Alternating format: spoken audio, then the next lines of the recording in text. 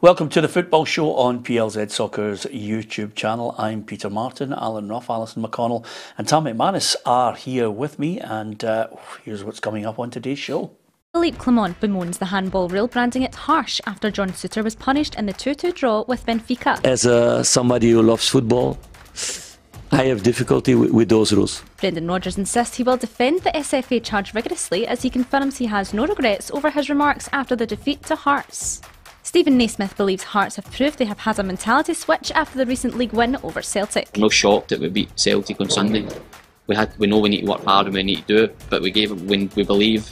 Um, Nick Montgomery reveals what he thinks will be key to Hibs in their bid to shock Rangers in their Scottish Cup quarter-final clash. Always about mentality and players playing at this level.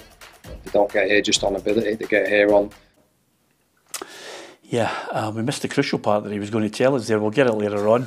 you, you, don't get there just with ability. There's much more to it, but we'll hear from Nick a little later on in the programme. There's lots to discuss. Uh, thank you very much to so many of you for engaging with us. And of course, if you want to join the football family, hit the subscribe button on our YouTube channel. And if you want all the latest breaking football news and unique video content, then why not download the PLZ Soccer app? Uh, and with that, football is what we talk about near and far, Scottish at our heart. Uh, and then we'll have a wee look at what's happening down south in the English Premier League as well. So, uh, with that in mind, Ruffy, it's just a fantastic night for Rangers last night. Yeah, another super performance. I think we all thought, you know, away from home it might been a wee bit more difficult, but no, they gave us as good as they got. You know, it could have went either way. Both teams had chances. But uh, unfortunately, the away goal rule doesn't count. Or they'll be happier, I think. So I don't think the, the, the tie's done and dusted. I think the next game will be similar to that one we saw last night. Yeah, uh, I mean, just I can't remember, Tom, but out of the four of us on Monday, I predicted Rangers would get through over the two legs. I thought that. Did you? Were you in yeah, that? Yeah, I, yeah, I did as well, Pete. I don't think it's a, a vintage Benfica side. I think that obviously the result with the week before, you know, getting hammered from Porto five nothing. I think the last 10, 15 minutes they started to put a lot of pressure on Rangers and Rangers, you know, dug in, got the draw. I think Rangers are now maybe 60-40 favourites now. I think getting back to Ibrox, as Ruffy said, they're unfortunately he's not got the away goal rule um, now. But I think Rangers at a packed Ibrox are more than capable of, of winning that game. I thought they caused Benfica a lot of problems on the night and defended strongly. Uh, and I just think, you know, it's set up for, for Rangers to get through now at Ibrox. Well, uh, the way they orchestrated the first goal, it just gives you that confidence boost. You know, the game starts off, Benfica, tippy tappy, gaining all that control, and then boom, Rangers get the first goal mm, through fantastic, yeah, fantastic delivery for the goal actually, and fantastic header. Yeah, I, I think Rangers will be irritated. They'll be a bit frustrated at not coming away with the win. I know they were under huge amounts of pressure for much of the second half, but when you look at the goal that, that levels it to take it to two all, uh, you know, Connor Goldson, it's just a moment of madness. Really, that header into into his own net. I think they'll feel as though they, they might have just withstood some of that pressure and take and have taken the win away.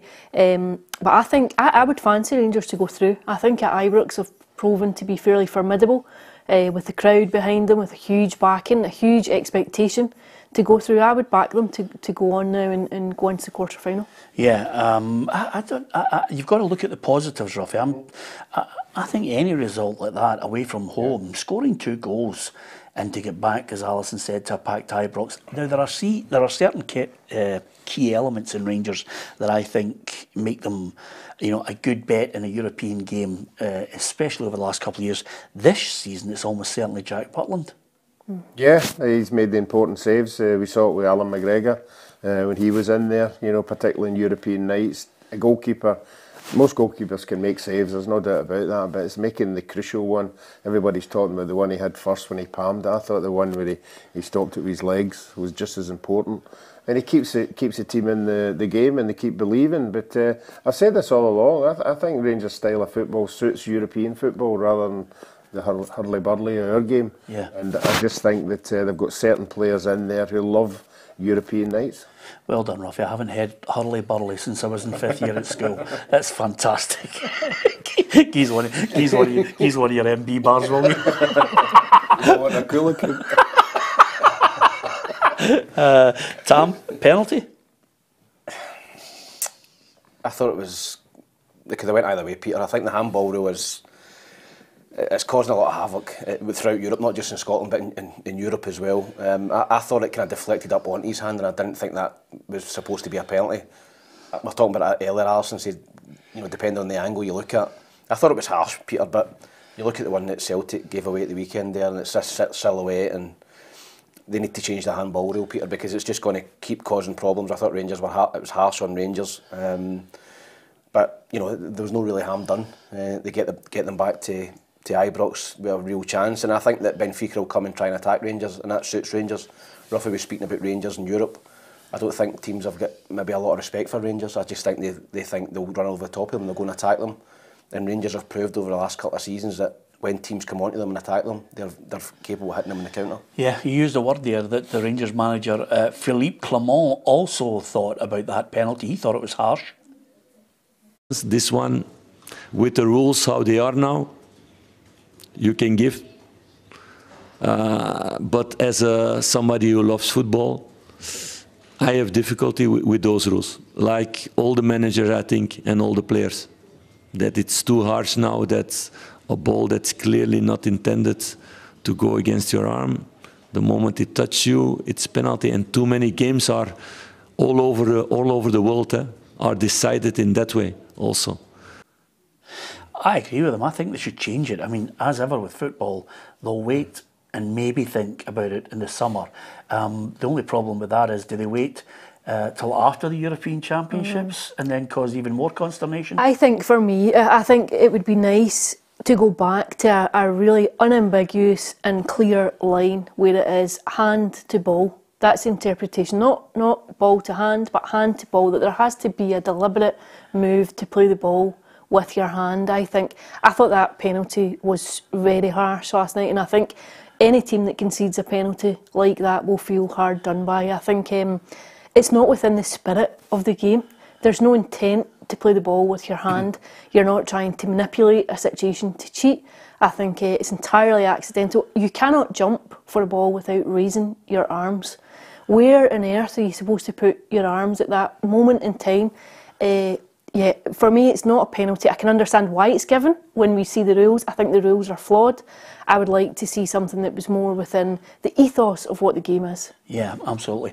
Um, it depends on what you are as a person. You'll have to analyse yourself. Are you a, a glass half full or a glass half empty? Certainly a 2 2 draw away in Portugal against Benfica.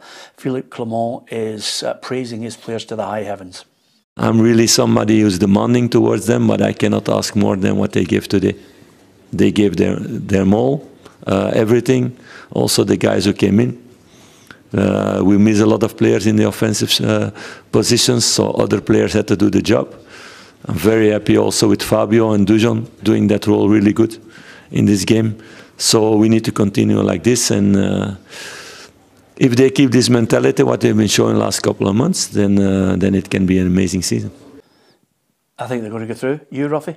Yeah, I think so as well. Uh, I think they'll have the advantage of the extra time as well if needed uh, at home, which will be again, you know. Yeah, I think they will just get through. Yeah, Ali? Yeah, I think they'll go through. I thought, yeah. Yep, I think I don't think Benfica are good travellers. I think they've, they've not won the last four away games, so I think Rangers will beat them. Yeah, um, I'll tell you one thing that's good, Ruffy. Um, the, the the draw gets us points. Uh, we desperately need coefficient points, and Rangers, as ever, have been flying the flag regularly. Um, and I think we are still just in tenth place, and the Czech Republic are hunting us down. Yeah, I think that, I think Liverpool did us a favour last night, didn't they? They yeah. spanked one of them. Spartak. Uh, so you know, yeah. Or Sparta. Yeah, we we just have to keep in there. You know, you hope they can get as far a favourable if they win this one a favourable result result in the next one because there doesn't seem to be that massive big teams out there in this competition just now. So another favourable draw in the next round in the semi-final. Here's the rundown on it, Ali. Uh, Scotland could drop to 11th. Mm-hmm. Um, Rangers have the highest club coefficient of all the teams in Europe outside of the top 10. So if Rangers were to win the league next season and the UEFA Champions League winner has already qualified, then they would get an automatic qualification spot. Um, if Celtic win the league, they have to play a playoff because their coefficient points are lower. Mm-hmm. It's an interesting one. I think. Uh, I think it's been such a substantial carrot recently to go and win the league, knowing that you have that immediate access to the Champions League and, and all the riches that it offers. I think Celtic can particularly know full well just how tough the qualifying route can be. I think um, they've found it particularly difficult when it comes to trying to qualify to make it into the group stages. And of course, we know now from next year that it's an entirely revamped uh, competition that they'll be going into. I think um, I think Celtic have underachieved in Europe across recent seasons. I think when you look at some of the some of the results, I think um, that's manifested in the, the coefficient, and I think they'll be kicking themselves at points with uh, with something that leaves them then potentially facing a, a qualifier. Yeah, okay. Um, there are some clubs looking at winning the Scottish Cup, some are looking at winning a double, some are looking at winning a quadruple. Of course, this is Scottish Cup weekend, and Kerry Pollock has been speaking to a few legends. Graeme Souness, Neil Lennon, Alan Stubbs, and Stuart Lovell met at Hampden Park earlier this week to preview this weekend's Scottish Gas Men's Scottish Cup quarter final ties. Rangers will travel to Easter Road in what could be considered in the most eye catching tie of the weekend. Former Rangers manager Graeme Souness is optimistic about the club's end to the season due to impressive displays under new manager Philippe Clement. When I was part of the inter- interview process, you know, I always, and when I see new managers being interviewed, I put myself back in the dressing room as a player. And I think, would he hold my attention? And when we interviewed him, I said that. I said, I like that. I think um, he might be the man. Um, and I, I am someone that would listen to him. Across the city, Celtic manager Brendan Rodgers has been subject to some criticism from his own fans, but ex Hibs boss Neil Lennon still backs his fellow countrymen to turn things around. I, I think that takes time. You know what I mean? Um, he's a quality manager, and he's proved that over his career. I, I do believe he will he will get it right. He's an elite manager. Um, maybe the team aren't as playing as well as he would like, but you all go through you know, periods like that in our managerial career. Alan Stubbs knows a thing or two about winning this cup as a manager and is hoping for an upset at Easter Road. There, there would have been probably other other fixtures or other teams in the in these this next round of of games that they probably would have picked before before Hibs, uh, and I think that tells you how tricky a tie can be. The Premiership's bottom club Livingston face a tough tie away to Celtic, but former Cup winning captain Stuart Lovell thinks the match offers a welcome break from a difficult league campaign. I think it could be a, a, a maybe a good distraction for Livingston in that they've had a tough time. They're sitting bottom of the table, and um, I think a cup game might just be a, come at a good time for them just to say this is a free hit. No one is expecting Livingston to to get a result. Will we see any cup upsets this weekend? Stay tuned across all of PLZ Soccer's social media channels for all the latest breaking headlines. I just wonder, uh, I'm wondering if there's a there's a cold sweat for yourself when you've seen Stuart Lovell there again after that day at Hampden when he was in the Livingston colours. That's right, he was a captain for Livingston and I played with him at Hibs as well. I, I, that's not great memories. Seen Archie every time I bump into him, he mentions it as well. Yeah, as you would. as you would uh, Livingston legend, uh, probably the one and only cup they'll ever win, but they done it against us, which was the Jonah strikes again, I suppose. Yeah, absolutely. Uh, and it's a beautiful frame with the medal in it and the and the shirt he has in his house. It's absolutely fantastic. Uh, I haven't seen him, I'm only winding you up, but uh, nevertheless, um, of course, that's legends looking at it and assessing the managers and and the sides uh, involved. Hibs against Rangers. Uh, it's tie of the weekend. It's, a, it's an absolute humdinger. Hibs are getting better. Rangers are just flying. Although I have to say, in fairness to Philippe Clement, and he hasn't mentioned it at times, um, they've had injuries. You know, there's still key players not available to him, and they're still producing the likes of that draw against Benfica. Yeah, they certainly are. But as they said the other day, there anybody's coming in, they're doing well. There's young Cole McKinnon, who was at Partick Thistle last year, thrown into a European tie. God, he must be absolutely in heaven with that. I don't know how that came about, but he's not he's not frightened to throw these kind of players in there. He knows he's training with them. You know, he knows how good they are. You know, but uh, I think Hibs will be looking, hoping that there is some kind of reaction for that game that last night. The travelling aspect, the players recovering. We heard Lenny talking about when you go to Europe, you know, it takes certain players longer to get their, their act together. So Hibs will be hoping that is a scenario. But they're in a good bit of form just now, so I think it'll be a, another tough tie for Rangers. Yeah, let's find out about Nick Montgomery. Alison went all the way through to the capital into the Hibs camp. Hibs and Rangers will do battle for a place in the Scottish Cup semi final when they meet at Easter Road on Sunday evening. And Nick Montgomery believes his side have all the necessary attributes to go and book that Hampden date. It's always about a mentality and players playing at this level. You know, they don't get here just on ability, they get here on having the right mentality. And, and, and you know, we know a lot of that is, is, is a big thing as opposed to what level you play at. Um, and, and yeah, we've got some we've got some good players and we've got a good squad, we've got a strong bench. And of course, Hibs triumph when they beat Rangers in the Scottish Cup final in 2016 to end a 114 year wait for the trophy has not been forgotten by anyone in, at Hibs. However, Montgomery would like this side to make their own little bit of history. Yeah, I've heard stories. I've, I've obviously seen the YouTube video of, of the sunshine on Leith. I think that's probably worldwide. Um, amazing when you watch that. And David Gray's an important member of, of my staff. And the real humble guy, but obviously there's memorabilia of him around the training ground and stuff because yeah, it was a historical moment for the club. Um, so obviously he's got that experience as well of of having success in the cup, but that was a long time ago, and, and yeah, you know, it's uh, it's nice to have that in history books, but. Right now, it's it's a present and, and, and the future. So all we can concentrate on is, is the game on Sunday. Yeah. Okay. Um, this one is, is it going to be, I mean, Rangers really haven't had too much trouble with Hibs. Um, we're hoping it's going to be a humdinger of a tie, but can you see anything um, other than a Rangers I, I don't win? think Hibs will have a better opportunity than Sunday. I think the two games this season have been dreadful from a Hibs point of view, 4 nothing, 3 nothing. Um, they've got to come out the traps quickly, Hibs. They've got to come out and get after Rangers. They've travelled from an away tie in Portugal. They've had a tough, you know, 90 plus minutes. They're probably be back in for Luton today, and it's right, right back into a game on Sunday. So Hibs are rested, you know, they're fresh and they're playing well. They're playing with confidence at the minute. So if Hibs can start the game well and just get the fans behind them uh, and maybe get the first goal, then I think they can go and put Rangers out. But it's going to be tough. I mean, Rangers Rangers have had the better, not not just this season, but I think 13, 14 games. You know, Hibs have not laid a, a glove on uh, eh, on Rangers. So it's, it's a tough tie for Hibs, but I think I think they could possibly nick it at the end if they can start well. Um, so I'll go for a Hibs win. Yeah, what, one 0 eh, No, I don't think they'll keep a clean sheet. Two one to Hibs. Two one to Hibs. Okay, um, Ruffy. Need to score first. Yeah, that's that to happen. Yeah. They, they need to score. They need to put a bit of doubt in uh, Rangers' mind. Uh, I think it'll go all the way. Uh, I, I do think Hibs are in good form. I think uh, over 90 minutes.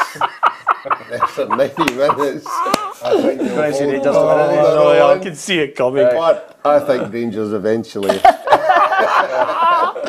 in injury time, uh, but I think both goalkeepers are going to play a big part in this game. Hold on a minute, Rangers are going to win it in injury time. 2 1. My God, that is specific now. You're really kind of a yeah. focusing in on exactly. I just didn't want to say 2 1 Rangers. Yes. I tried to sort of a... build it up into something yeah. and then 2 1 Rangers. Yes, okay. Um, okay, I do agree with you. I think it's going to be tight. I think Rangers will win it. You? I think Rangers will win it. I just don't see any evidence there. I think Hibs have been better. I think you've seen a more cohesive Hibs since the break. Uh, I think the players that have come in on loan, I think they've made a difference. But yeah, I think Rangers are too strong for them. He's changed the system, Peter, which is going to help. Yeah. He's playing, the, he's playing with two and the one uh, rather than the 4-4-2 and I think that will help massively because you know Rangers are going to play 4-3-3 that's the way they play and you need need the three in the middle of the park against Rangers and that will make a difference from the, the previous two games this season where Hibs have been ran over the top in the middle of the park. Okay, um, just before we move on from uh, obviously the, the talk of Hibs against Rangers, and we've been discussing uh, Benfica Rangers in the uh, Europa League last night. Uh, I mentioned uh, to a Rangers fan who sadly lost his life, Thomas McAllister passed away in Lisbon uh, in the uh, at the game uh, against Benfica the circumstances of his death are not known at the moment, but I think uh, Rangers have released a statement um, offering their condolences to the family. Uh, and I think from everybody here, our thoughts and prayers with their family at this time. Um, for such a young man at 25 to lose his life going to a football match, it is an absolute tragedy. So I think uh, it puts football in perspective, and I think all our thoughts and prayers are with uh, Thomas uh, McAllister's family at this point. So from one tie in the quarter final, we'll move on to Celtic against Livingston. Just before we talk about uh, the overall game itself, um, there is obviously an issue which has I don't know if it's gone under the radar. It's certainly been a, uh, a hotly contested uh, story um, from so many sides. If I could just put something in as a forward to it, Alison, before obviously I get the thoughts of the panel on it. Liel Abada uh, has left to sign for MLS side Charlotte FC. Um, the deal is worth around £10 million. Um, if add-ons become a feature on it, I'm sure Celtic uh, will eventually reveal that. Um, but he released a statement uh, last night admitting leaving the club was not in his plans. Um, Celtic have kind of been very low key on this whole transfer. Um, they put it on their website. There wasn't any posts in social media. It was just Liel Abada is leaving. Um, I don't think on this football show we discuss the rights and wrongs or legitimacies of people's opinion on uh, the Israel Palestine conflict because, quite simply, um, any life lost in any conflict is a life too, too many uh, in my book.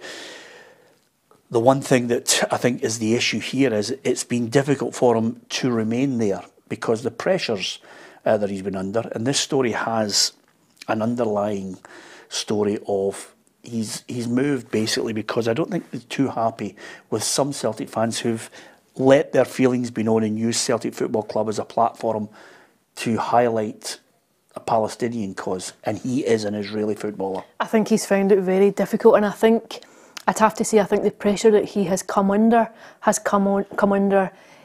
Effectively from his colleagues and teammates at, at international level and in his homeland. I think uh, the perception of Celtic and Celtic fans as being pro-Palestinian invited a lot of that pressure that I think he was put under.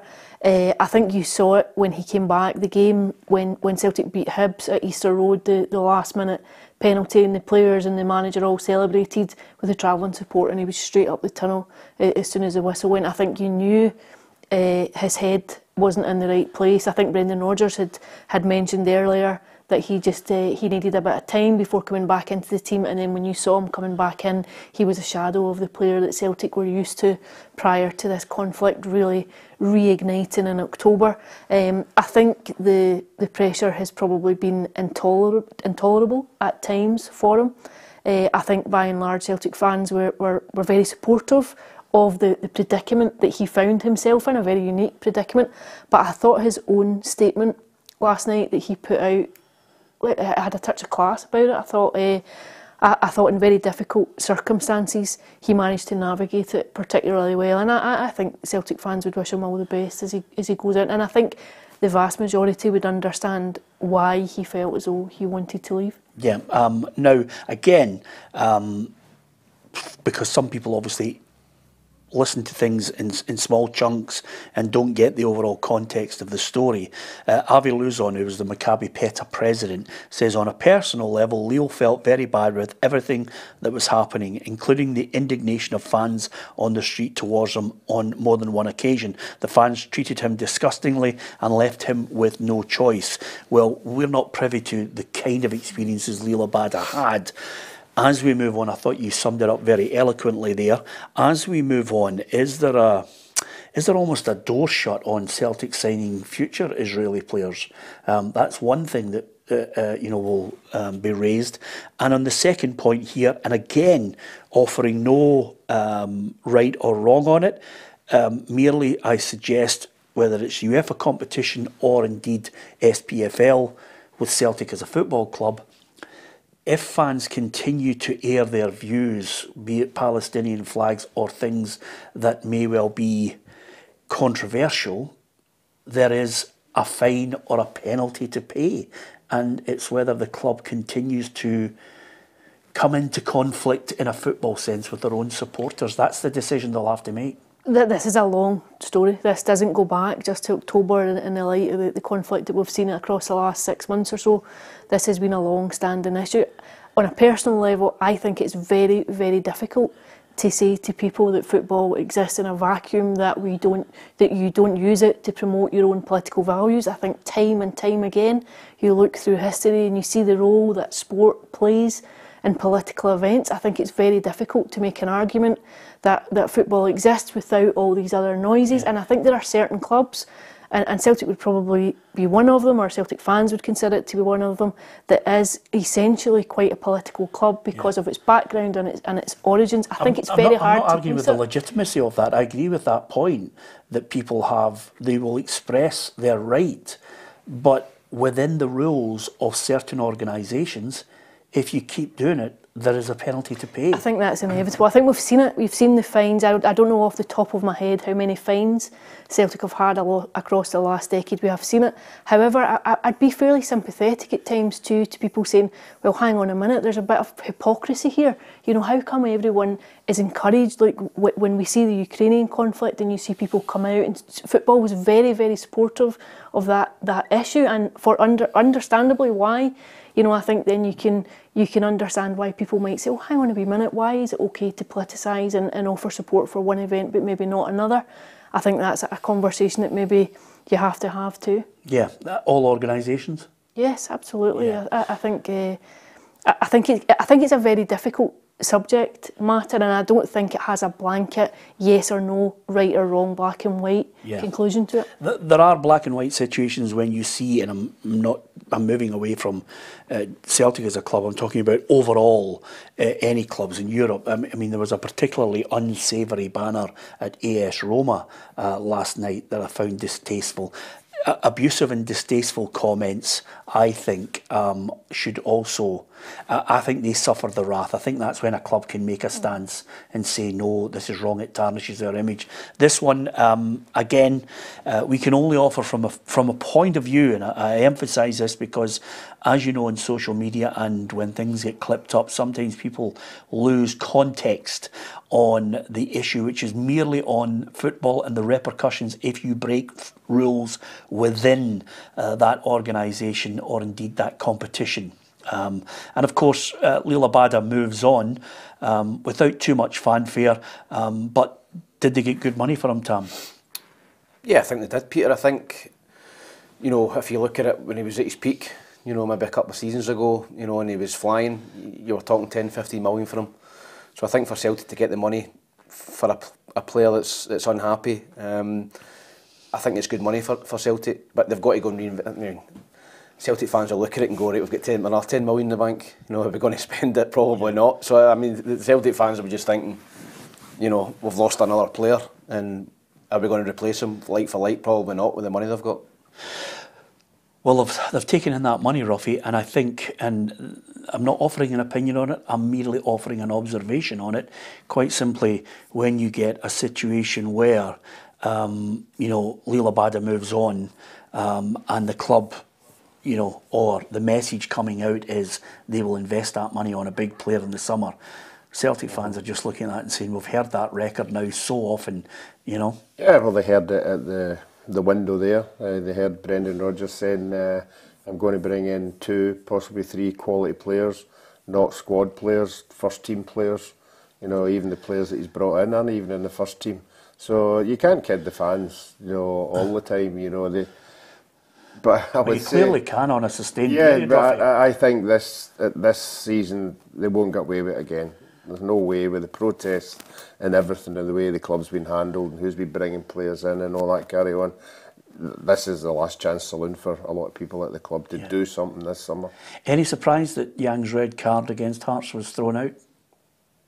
Oh, yeah, you know, I think we all debated it. We thought it wasn't an intentional kick. He was trying to flick the ball over the boy's head, and the boy came in at pace, and he, he couldn't get out the road either. I don't think it was intentional. So I thought the referee gave a yellow card initially, and I thought that'd have been enough. Yeah, um, no surprise that Brendan Rodgers has been charged with his uh, comments. I think we all knew, everybody knew what was coming. Yeah, we could see it coming a mile off. Um, the hearing's going to take place 25 days after the match, so, so it's not been fast tracked. It's it's just it's just getting to that point where he could be in the stand for the Rangers game.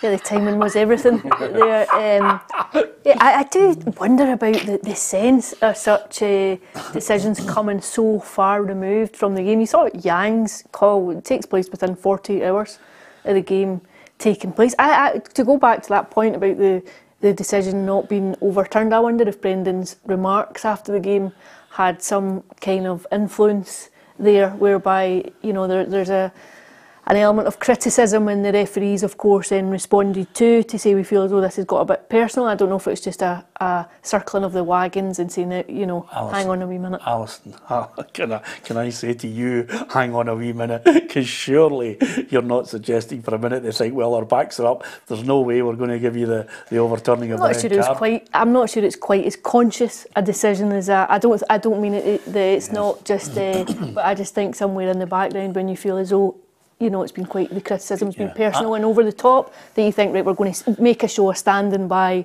our officials and standing by the official, uh, standing by the decision that was made on the day. I better not laugh at specific points when an answer is made because obviously with Gordon Parks the other week there, I was included in the clip uh, for all the wrong reasons. Um, I, disagree with Alison. I just don't believe for a minute that people start to roll in things to influence them in the decision of Yang. But um, this is what Brendan Rodgers had to say on the hearing coming up. Uh, we'll defend it vigorously when the day comes. It was my observation over many games with the consistency of decisions. I understand they make mistakes, but I felt the ones last week were clear errors. Um, okay, some people have thrown out the accusation. Well, you know, they really are, they really are, you know, pushing that out there to deflect away from the fact they lost.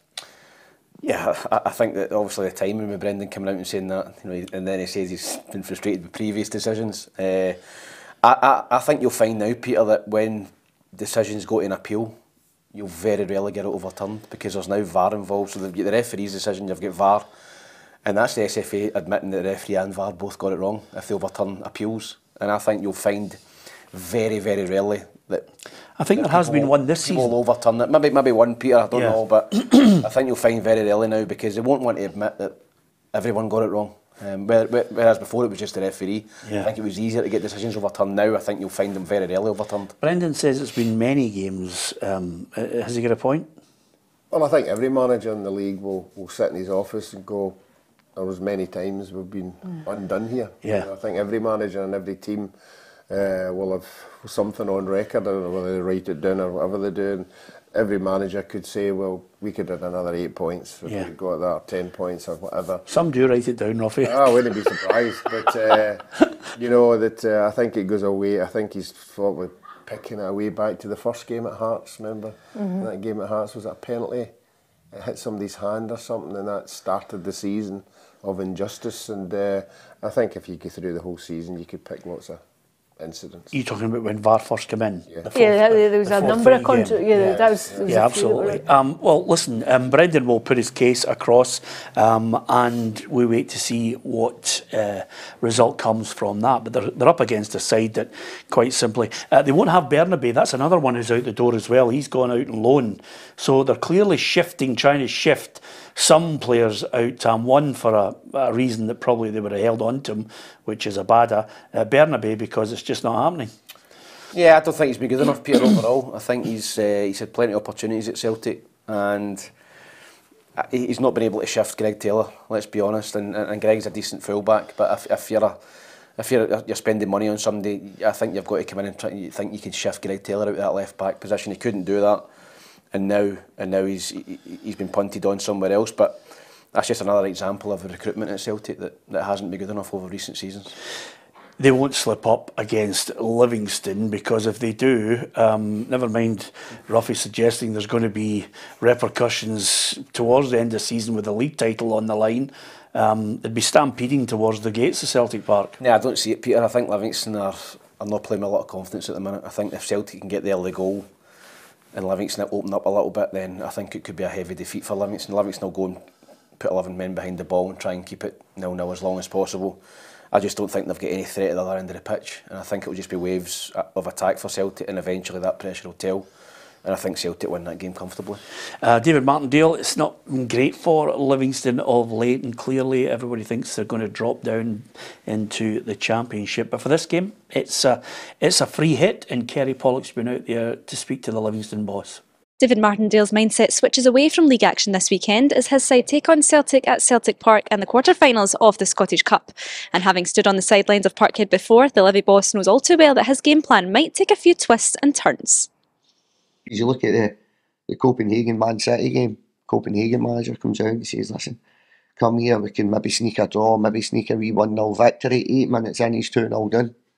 Everything that you have worked on as a club, as a manager, as a coach, as a player, has just went right out the window. And I've stood at the side of Parkhead before, Parkhead and Ibrox, and you've worked extremely hard within that working week to try and your game plan. It's it's gone within five, ten minutes of the, the games. His counterpart this weekend, Brendan Rodgers, was cited by the SFA for venting his frustrations over match officials last Sunday. But David Martindale insists that all managers have felt aggrieved at some point this season. I think every manager sitting here feels the same, no matter where you are. Celtic, Rangers, Hearts, Hibs, Aberdeen, St John's, St Mirren, Motherwell, Livingston, Kilmarnock. Every manager will be sitting in the seat thinking they're hard done by. Now that doesn't matter, or you bought me a league at Livingston. Every man, we all probably feel the same. And I think take VAR out of the equation, you'd have probably sitting here with the same feelings from on-field decisions if VAR wasn't involved. So I just think it's competitive football. It's uh, the winner in us all. Will we have a cup upset on our hands? We'll find out this Sunday. Kick-off is at 2.30. It's a good point that David Martindale makes because I was I was at a championship game the other week there, Ruffy, and I ran into a manager and he said to me, "Isn't it great no VAR tonight?" That's how they feel about it. I'd, I'd, I'd, yeah, I'd, I would love to see what the referees say when they don't have a VAR. You know, it'd be interesting yeah. to get an opinion of, you know, are they more relaxed about it, that it's their decision they're making, they stand by it, or It'd just be interesting at the end of the season because they do all these reviews anyway and see where we are. Yeah, absolutely. Um, I think that's a good question you made there, Rob. I think referees, I think referees welcome it uh, in the main, but you know, we all welcomed it. If we could look back on Peter Nuffy mm. oh, absolutely. Uh, football I, want, I wanted that in. The one thing yeah. I do think, the one thing I think about, and, and last weekend is actually a perfect example at Tynecastle when you have John Beaton, who's the VAR operator now. John Beaton is regarded as one of the very best officials that we have. I do wonder about how influential having a senior figure on VAR is if you have a younger referee going over to the monitor and someone else says to you, it's definitely a penalty. No, no, you've got it wrong. It's, it's definitely a penalty. It's very hard to say. Well, can I just on, interject I here quickly on that? I do wonder about that. You and I are, there's that seat. I'm going to argue with you here. There's no way, surely, a VAR gentleman is saying this is definitely a penalty. I think I think their line has to be delay, delay, delay. We think you've made a clear and obvious error. Come back and look at this. Yeah, incident. the line needs obviously yeah. the lines, Same but thing. I do wonder. I do. Uh, if somebody says to you, "I've seen a clear and obvious error," watch it back, and you watch it back, and the first time you think, "I've not seen it." Do you think he says it again? Do you think somebody? I think maybe there's just a silence. But That's if someone says to you, "I can see an obvious, a clear and obvious error," immediately you're thinking, "I've made a mistake." Yeah. I've made a mistake. Yeah. I've got it wrong. Would you like to hear them saying the next? I would part? like to hear to all, all of it. it. Yeah. I, I think it would be. I think the next step is to release the audio, not just from sporadic games or not if there's been a moment of contention where people have asked for it, but I think it would be helpful to be able to hear the audio uh, and to hear how a conclusion was reached. And also, I think for fans within the stadium, I think during games it can be so frustrating when you think, what is anyone looking at? Yeah. Why, why does everybody uh, assume as soon as the referee goes over to the screen that means it's going to be the decision? I think he's 90 Everybody said, oh, he's going over to the screen, that means it's a penalty. But I think what, what that's what usually, you've seen. Usually change it. I think yeah. the evidence that you've seen since VAR was introduced, that invariably, that is what happens. Mm. It's quite rare for it to have no consequence. But as, well, as Peter said, it would be great if the referee went over and upstairs says, "I think you've made it," and he goes, "No, no." Yeah, yeah. but that's what I'm saying. I think that must that would be quite difficult to do if you're a younger referee and you know you've got a more experienced official who's in charge of VR. I think that would, mm. I think that would be quite a hard thing to do. The reason why the majority of them are changed, Ruffy, is because VAR as a technology is there to offer another angle that the referee hasn't seen to give him a better chance of coming to the decision. What we all have a problem with is even when sometimes getting that angle, mm. he comes to a decision which some of us are bemused because even with three or four angles, it's not the decision he should have made. And we wonder what influence is coming to him while he's looking at four or five angles, four or five stills. The point again, five minutes has now passed, and still Is somebody in his ear? Is he being shown one particular angle to then try and mm-hmm. influence his mindset to say this little touch over the top of his head, the studs were too near his head, the studs were too near his head. Let's look at that frame again and slow it down. His, do you know what I oh, mean? and the slowing it down is a big problem as When, well. when, when, you, like sc- when you screenshot anything, Peter, it looks worse. Yeah. You could have a, one of the best tackles ever. You win the ball and you could still, you know, have a still of it when they follow through and you think, oh, that's a bad tackle. Yeah, so yeah. everything that's slowed down and Peter's- paused, it Peter's looks been planned. Up, up in that thing, haven't you? And you've Yes. seen the screens, and Mhm. you're saying they're, they're looking at that four or five times. They're looking at that. They're looking at that. They're looking at that. How can they then come out and say we've had 17 wrong? How can 17 decisions that they've made been wrong? because the If they're, assessment. if, they're, if they're looking at it four and five times and this angle and that angle. Well, because you can't throw out what Brendan Rodgers is saying, which is quite simply, and another a few managers have, have pointed this out. We have to hold our hands up and say some, some officials, whether they're refs or whether they're VAR officials, are not up to it. We don't have a high standard here. We might have two or three really good referees, by the way, but they are completely forgotten about in the mm. standard and the level that we have officiating in this country. And there, you know, for all the great games that one or two officials do have, it's being lost mm. in this constant scrutiny, assessment, anger, criticism because of the inept performances of others. And I include VAR officials. A lot of it doesn't have to be scrut- scrutinised. You know, you go back to the Rossi, it's hit his mm. hand. Oh, that- that- that's incredible how you don't see that on a screen. Yeah, y- you see the one at Tynecastle that is given, and you think, how can that? that's- it's the that's inconsi- I think it's the bonkers. inconsistency of decision, decisions that really frustrate managers. I think you saw it at Fir Park uh, a couple of Sundays ago. I think Theo Bair on Liam Scales, a, a very similar challenge to the one that Yang gets sent off. You can see why people are exasperated. It, some things that are, are given the most severest of sanctions, and some that aren't sanctioned at all for what looks like very similar incidents. Well, listen, we've had three managers on, all talking about it. Um, Brendan Rodgers, valid points, he'll get a fine. Philippe Clement mentioned the handball, too harsh. David Martindale, equally so, talking about it. Nick Montgomery, last week in the Derby, came out right after it, mentioned VAR. It is at the forefront of managers' minds and it's annoying fans. Something has to change in the summer. I don't know if you caught the vibe on it, Ali, but uh, while he's putting his point across, he's looking at me and you angrily as if it's your fault just because we are just because we are highlighting the points to him. Uh, calm down, Right Muffy. next to him. Yeah, Aberdeen Kelly. Um, oh, jeez, Aberdeen. Um, is, I mean, this this this isn't.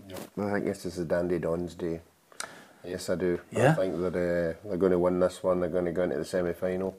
And uh, I think they deserve a wee rub of the green. And uh, I I know Kilmarnock are the team on form between the two of them, but in certain games I've seen Aberdeen last week, they could have seen it out, but they never. There's something just waiting to click there for them. I don't think they're a great side. Have you seen evidence, I Ruffy? have seen evidence. I've seen Was this game- on a was this on a no, VAR? Not over I, I didn't see it. Did you? Not over 90 minutes. over segments of a game. Right. If they can manage a game properly, I think I, I'm going to go for Aberdeen. Yeah, Neil Warnock, um, one game, Bonnie Bonnyrigg Rose. Um, it's, it's a 10 game winless run. And I had Kenny, um, who is uh, living out in uh, Los Angeles, sends us regular messages on Aberdeen. He's a big Dons fan and he stays in contact regularly. Um, I've never met him, by the way. He just tells me all the time uh, about who he thinks is going to come in as manager. That was his longest email uh, in a while. But he is like so many Dons fans looking at this debacle and thinking, you're not going to put Audrey in thinking this is a this is a shoe and you're against an old manager that you wanted rid of who could come here and take the scalp. Yeah, I think Kilmarnock will win on, uh, and I think they'll win comfortably uh, on Saturday. I just, uh, I think by a couple of goals. Yeah. I, I just think Comfortable 2-0 or- 2-0. I, I think Aberdeen look. Ruffy to know. You know. I think Aberdeen You think look 2-0 for Aberdeen? toothless. I say 2 0, no. 2 I'll just say they'll win the game. Yeah, 2 0, all right, okay. I'm not that confident. So it's a comfortable 2 0 for you. No, I did, I've I've seen nothing from Aberdeen that would lead me to think that they're anywhere near getting out the back. I mean, they've lost all their meetings against them this season. the, the thing with Aberdeen is they, they can't defend. They're, they're defensively, they're so poor. Peter, they're losing goals. And if Miovski doesn't score, nobody else is scoring. Apart from the boy who scored the wonder goal the other day, Conor Barron, for about 30 yards. There's nobody scoring a goal for them. So I don't think Kamalat are great away from home. They're much better at home. But I, I agree with Ali. I think they'll go up there. And if Kamalat score the first goal, it's going to be toxic at Pataudry. You know, they're going to be under severe pressure. And I think Aberdeen's season will be done on Sunday. So I think Saturday they're out. Yeah, can I ask you this question? Um, is it breaking point to lose to Kilmarnock at Pittodrie in the Cup and effectively then be facing a relegation I, I think it'll be Neil Warnock's decision. I don't. I, I can't see Aberdeen sacking another manager. Um, I think if Neil maybe thinks he's had enough or he can't improve the situation, then he would walk away. Um, He but said I, he doesn't do walking away. Well, he's not going to walk away then, so I think it'll be at the end of the season regardless. Yeah. Um, do you think? Well, I don't think Aberdeen will sack another manager. Surely. Well, Can't I ask you this? Uh, I noticed he's getting a little bit prickly about it. He was talking about the fact that, um, you know, Neil Lennon's the latest to throw his hat in. We knew that for weeks that he was um, there. as, Inside info. Well, of course, that's the other thing about it. But but the point here is, I don't know why Neil Warnock is getting prickly about it. He's been asked to do a job. He's got a great CV, but he hasn't been able to get a trick out of this bunch of underachievers. Um, and quite simply, everybody's speculating on who the next manager is because he's only here on a short term deal anyway. So I don't know why he's getting his knickers in a twist. The only problem he did say was, will Willie Miller be his assistant? Because clearly he's not happy that Willie has savaged him on BBC. Yeah, well, listen, obviously Willie Miller's a huge figure up in Aberdeen. You know, he'll be, you know, and I'd assume that he, Neil's living up in the northeast. I think he'll be up there and he'll, he'll be reading stuff and he'll be hearing stuff uh, what Willie Miller's saying about him. And I think he will, be, it will be annoying him. But that, that's what happens with every manager. You know, people are are going to be critical if you're not doing well. You're right, and you know whether it's Neil Lennon, whether it's anybody else. You know, Aberdeen's a massive job. You've got to go and win games, Peter, and he's only won one game, Bonnyrigg Rose. He's got to start winning games, or he's going to be under even more pressure. So, I don't see them winning. I think they'll, I think they'll go out the cup, and then th- they've just got to try and stay in the division. I think. Yeah, I, I have to say, I, I am not criticising Willie Miller. I think he's actually He's right. entitled to his opinion. No, no, not, not only that, I think he's right on the basis. I mean, I, I was up at Pittodrie watching them against Livingston. They were rank rotten.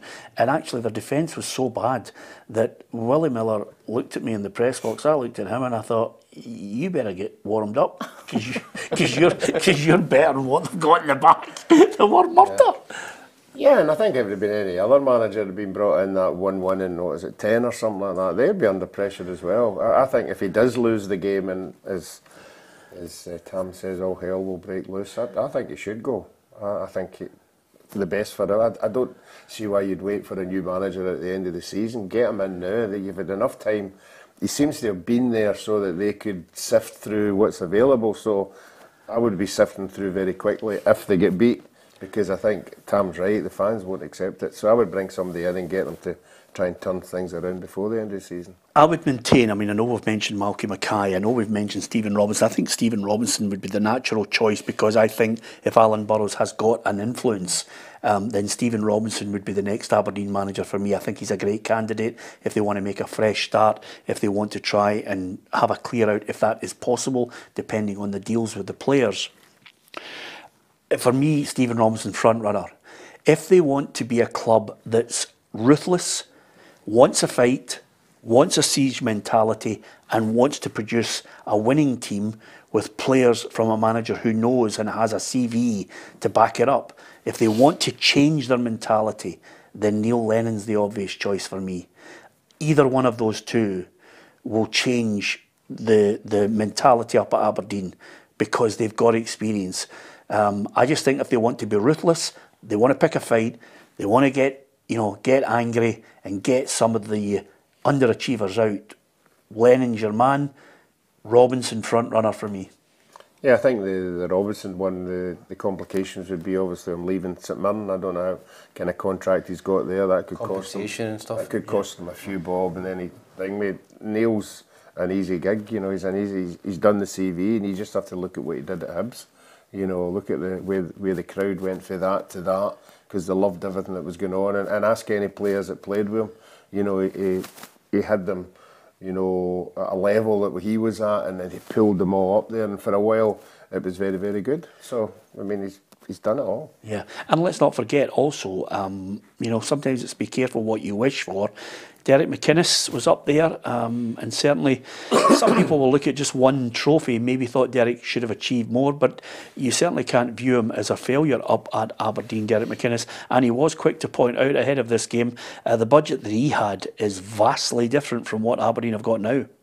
You know, we had a, we had a brilliant time at Aberdeen. You know, I think um, you know we won the League Cup in our first year. It was a team with a lot of academy graduates. I know the budget I was working at um, at that time um, was um, night and day for what it is now. Um, we, we had young academy players playing like Shaughnessy and Nicky Low and Cammy Smith and Andy Considine, Ryan Jack, um, Russell Anderson, boys that came through the academy and nobody was probably really expecting us to, to win a cup after finishing, I think Aberdeen had finished ninth, I think the season before. So Just shows you, he's just rhymed off a whole number of players that came through the academy. Where are they? You know, where are those players? Yeah, there's not many coming through now, Peter, is there? No. Um, I think the boy Ramsay's probably the only one that I've brought through and, and sold for money. Um, and he can't get a game in the loan. uh, to, to Liverpool. Uh, they'll probably lose Conor Barron, I think, at the end of the season. I don't think he's signing a new deal. Yep. They'll, they'll lose him, but I think he's bang on there. I think that he done a great job at Aberdeen, but the Aberdeen fans